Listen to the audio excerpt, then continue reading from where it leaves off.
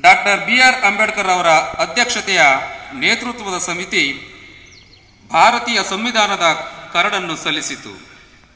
ಇದನ್ನು ನವೆಂಬರ್ ಇಪ್ಪತ್ತಾರು ಸಾವಿರದ ಒಂಬೈನೂರ ನಲವತ್ತೊಂಬತ್ತರಂದು ಅಂಗೀಕರಿಸಲಾಯಿತು. ಮತ್ತು ಅಧಿಕೃತವಾಗಿ ಜನವರಿ ಇಪ್ಪತ್ತಾರು ಸಾವಿರದ ಒಂಬೈನೂರ ಐವತ್ತರಂದು ಸಂವಿಧಾನವನ್ನು ಜಾರಿಗೊಳಿಸಲಾಯಿತು. ಸಂವಿಧಾನವು ಭಾರತವನ್ನು ಗಣರಾಜ್ಯವೆಂದು ಘೋಷಣೆ ಮಾಡಿತು. ನಾವು ಪ್ರತಿ ವರ್ಷವೂ ಈ ದಿನದಂದು ಗಣರಾಜ್ಯೋತ್ಸವವನ್ನು ರಾಷ್ಟ್ರೀಯ ಹಬ್ಬವನ್ನಾಗಿ ಆಚರಿಸುತ್ತೇವೆ. ಹಾಗಾದರೆ ಗಣರಾಜ್ಯ ಎಂದರೇನು? ಪ್ರಜೆಗಳನ್ನು ಆಳುವ ಸರ್ಕಾರವನ್ನು ನಿರ್ಧಾರ ಮಾಡುವಂತಹ ಅಥವಾ ಆಯ್ಕೆ ಮಾಡುವಂತಹ ಒಂದು ಹಕ್ಕು ಪ್ರಜೆಗಳದ್ದಾಗಿರುತ್ತದೆ. ಇದನ್ನು ನಾವು ಗಣರಾಜ್ಯ ಅಥವಾ ಪ್ರಜಾರಾಜ್ಯ ಎಂದು ಕರೆಯುತ್ತೇವೆ. ಪ್ರಜೆಗಳು ತಮ್ಮ ಮತವನ್ನು ಚಲಾಯಿಸುವುದರ ಮೂಲಕ ಒಂದು ಸರ್ಕಾರವನ್ನು ಆಯ್ಕೆ ಮಾಡುವ ಹಕ್ಕನ್ನು ಹೊಂದಿರುತ್ತಾರೆ. ಪ್ರಜೆಗಳಿಂದ ಪ್ರಜೆಗಳಿಗಾಗಿ, ಪ್ರಜೆಗಳಿಗೋಸ್ಕರ ಆಡಳಿತ ನಡೆಸುವ ವ್ಯವಸ್ಥೆಯನ್ನ ಗಣರಾಜ್ಯ ಅಥವಾ ಪ್ರಜಾರಾಜ್ಯ ಎಂದು ಕರೆಯುತ್ತಾರೆ. ಅಂದರೆ, ಇಲ್ಲಿ ರಾಜಪ್ರಭುತ್ವ ಇರುವುದಿಲ್ಲ, ಬದಲಾಗಿ ಪ್ರಜೆಗಳೇ ಪ್ರಭುಗಳಾಗಿರುತ್ತಾರೆ. ಪ್ರಜೆಗಳ ಹಾಗು ಹೋಗುಗಳನ್ನು ಪ್ರಜೆಗಳಿಂದ ಆರಿಸಲ್ಪಟ್ಟ ಪ್ರತಿನಿಧಿಗಳಿಂದ ನಡೆಸಲ್ಪಡುತ್ತದೆ. ಭಾರತೀಯರಾದ ನಾವು ಗಣರಾಜ್ಯೋತ್ಸವದ ಸಂದರ್ಭದಲ್ಲಿ ತಮ್ಮ ತ್ಯಾಗ ಬಲಿದಾನಗಳಿಂದ ದೇಶವನ್ನು ಕಾಪಾಡುವ ಭೂಸೇನೆ, ನೌಕಾಸೇನೆ ಹಾಗೂ ವಾಯುಸೇನೆಯ ಎಲ್ಲ ಸೈನಿಕರಿಗೂ ಹಾಗೂ ದೇಶದ ಅಭಿವೃದ್ಧಿಗೆ ಶ್ರಮಿಸುತ್ತಿರುವ ಎಲ್ಲ ವಿಜ್ಞಾನಿಗಳಿಗೂ, ತಂತ್ರಜ್ಞರಿಗೂ ಮತ್ತು ದೇಶದ ಬೆನ್ನೆಲುಬಾದ ರೈತ ವರ್ಗಕ್ಕೂ ನಾವು ಈ ಸಂದರ್ಭದಲ್ಲಿ ಚಿರಋಣಿಯಾಗಿರುತ್ತಾ ದೇಶದ ಸರ್ವಾಂಗೀಣ ಅಭಿವೃದ್ಧಿಗೆ ನಮ್ಮ ಸೇವೆ ಸಲ್ಲಿಸೋಣ ಎಂದು ಶಪಥ ಮಾಡೋಣ.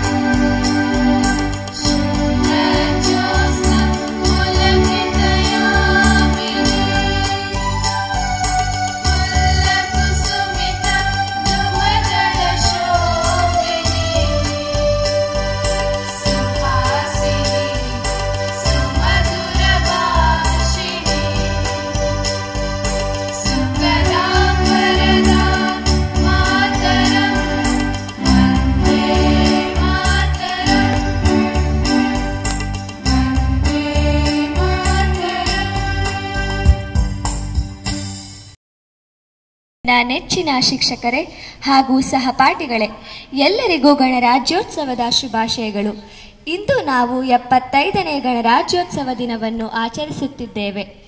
ಸ್ವತಂತ್ರ ದಿನಾಚರಣೆಯಂತೆ ಗಣರಾಜ್ಯೋತ್ಸವ ಕೂಡ ಬಹಳ ಪ್ರಮುಖ ರಾಷ್ಟ್ರೀಯ ಹಬ್ಬವಾಗಿದೆ. ಪ್ರತಿ ವರ್ಷ ಜನವರಿ ಇಪ್ಪತ್ತಾರರಂದು ಗಣತಂತ್ರ ಅಥವಾ ಗಣರಾಜ್ಯೋತ್ಸವವನ್ನು ಆಚರಿಸುತ್ತೇವೆ.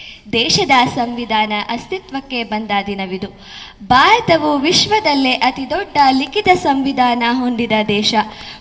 ಪ್ರಜೆಗಳಿಂದಲೇ ಪ್ರಜೆಗಳಿಗಾಗಿಯೇ ಪ್ರಜೆಗಳಿಗೋಸ್ಕರವೇ ನಡೆಸುವ ಆಡಳಿತವೇ ಪ್ರಜಾಪ್ರಭುತ್ವ. ಪ್ರಜಾಪ್ರಭುತ್ವ ಮತ್ತು ಜಾತ್ಯತೀತತೆಯನ್ನು ಎತ್ತಿ ಹಿಡಿಯುತ್ತದೆ.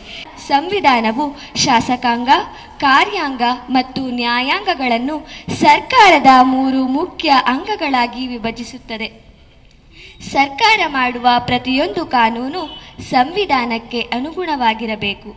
ನಮಗೆಲ್ಲ ತಿಳಿದಿರುವಂತೆ ಸಾವಿರದ ಒಂಬೈನೂರ ಐವತ್ತರ ಜನವರಿ ಇಪ್ಪತ್ತಾರರಂದು ಭಾರತ ಸಂವಿಧಾನವು ಜಾರಿಗೆ ಬಂತು. ಸಂವಿಧಾನ ರಚನೆಗಾಗಿ ಸ್ಥಾಪಿಸಲಾದ ಕರಡು ಸಮಿತಿಯ ಅಧ್ಯಕ್ಷರಾಗಿದ್ದ ಡಾಕ್ಟರ್ ಬಿ ಆರ್ ಅಂಬೇಡ್ಕರ್ ಅವರನ್ನು ಭಾರತದ ಸಂವಿಧಾನ ಪಿತಾಮಹ ಎಂದೇ ಕರೆಯುತ್ತೇವೆ. ಏಕೆಂದರೆ ದೇಶಕ್ಕೆ ವ್ಯವಸ್ಥಿತ ಹಾಗೂ ಅರ್ಥಪೂರ್ಣ ಸಂವಿಧಾನವನ್ನು ರಚಿಸಿ ಜಾರಿಗೆ ತರುವರಲ್ಲಿ ಇವರ ಶ್ರಮ ಅಪಾರ. Indian constitution is nothing but ಆದಿ ಮಾನವನಿಂದ ಆಧುನಿಕ ಮಾನವನೆಡೆಗೆ ಪಯಣ.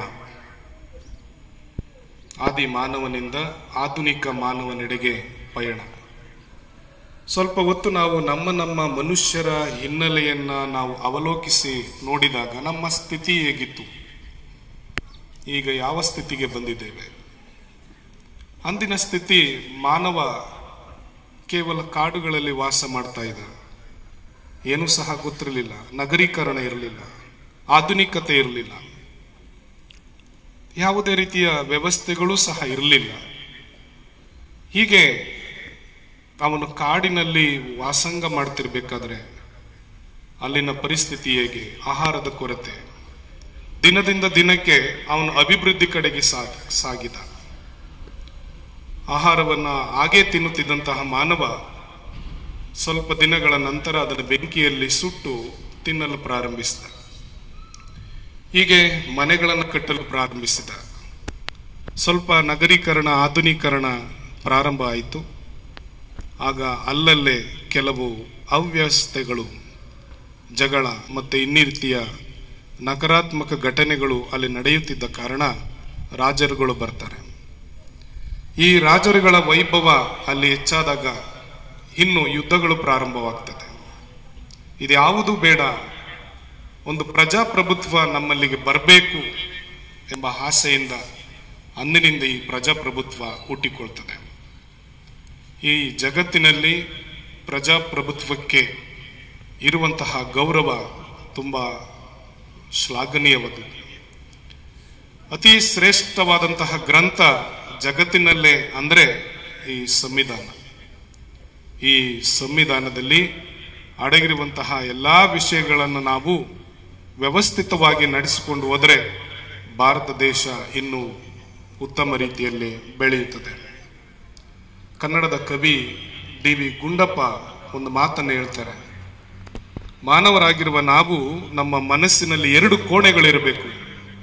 ಒಂದು ಒಳಕೋಣೆ ಇನ್ನೊಂದು ಒಳಕೋಣೆ ನಾವು ಯಾವಾಗಲೂ ಸಹ ಈ ಒಳ ಹೊರ ಕೋಣೆಯಲ್ಲಿ ನಾವು ಹೆಚ್ಚಾಗಿ ಕಾಣಿಸ್ಕೊಳ್ತೇವೆ. ಏನು ಹೊರ ಕೋಣೆಯಲ್ಲಿ? ನಮ್ಮ ದೈನಂದಿನ ಬದುಕು. ಜವಾಬ್ದಾರಿಯ ಜೀವನ, ಕೆಲಸಗಳು, ಕಾರ್ಯಗಳು, ಅದನ್ನೇ ಡಿ ವಿ ಗುಂಡಪ್ಪ ಹೇಳ್ತಾರೆ. ನೀನು ಹೊರ ಕೋಣೆಯಲ್ಲಿ ಕೆಲಸವನ್ನು ಮಾಡ್ತಿರ್ಬೇಕಾದ್ರೆ ಜವಾಬ್ದಾರಿಯುತವಾಗಿ ನೀನು ಮಾಡಿದರೆ ಅಷ್ಟೇ ಸಾಕು, ನಿನ್ನ ಒಳಕೋಣೆ ಚೆನ್ನಾಗಿರುತ್ತದೆ ಎಂಬುದಾಗಿ. ಈ ಹೊರ ಕೋಣೆಯಲ್ಲಿ ನಾವು ಜೀವಿಸ್ತಾ ಇದ್ದೇವೆ. ನಮ್ಮ ಜವಾಬ್ದಾರಿ ಜೀವನವನ್ನು ಸಾಗಿಸಬೇಕಾದ್ರೆ ಡಾಕ್ಟರ್ ಬಿ ಆರ್ ಅಂಬೇಡ್ಕರ್ ಏನು ಬರೆದಿದ್ದಾರೆ ಸಂವಿಧಾನವನ್ನ ನಮ್ಮ ಜೀವನದಲ್ಲಿ ಅಳವಡಿಸಿಕೊಂಡು ಈ ಹೊರಕೋಣೆಯಲ್ಲಿ ಅದನ್ನು ನಾವು ಪ್ರಗತಿಗೆ ತಂದರೆ ಇಂದು ಭಾರತದ ಸಂವಿಧಾನಕ್ಕೆ ನಾವು ಕೊಡುವಂತಹ ಗೌರವವಾಗಿದೆ. ಪ್ರಿಯ ಮಕ್ಕಳೇ ಮತ್ತು ಶಿಕ್ಷಕರೇ, ಭಾರತದ ಸಂವಿಧಾನ ನಾವೆಲ್ಲರೂ ಕಾಪಾಡುವಂತಹ ಹಕ್ಕು ನಮಗಿದೆ. ಯಾಕೆಂದರೆ ಆ ಸಂವಿಧಾನ ನಮ್ಮ ಬದುಕಿ ಹೇಗೆ ಸಾಕಬೇಕು ಈ ಲೋಕದಲ್ಲಿ ಎಂಬುದನ್ನು ನಮಗೆ ಬ, ತಿಳಿಸಿಕೊಟ್ಟಿರಬೇಕಾದ್ರೆ ನಾವು ಅದನ್ನು ಸುವ್ಯವಸ್ಥಿತವಾಗಿ ಗೌರವದಿಂದ ಕಾಪಾಡಿಕೊಂಡು ಅದಕ್ಕೆ ತಕ್ಕಂತೆ ನಮ್ಮ ಜೀವನವನ್ನು ಸಾಗಿಸಬೇಕಾಗಿದೆ.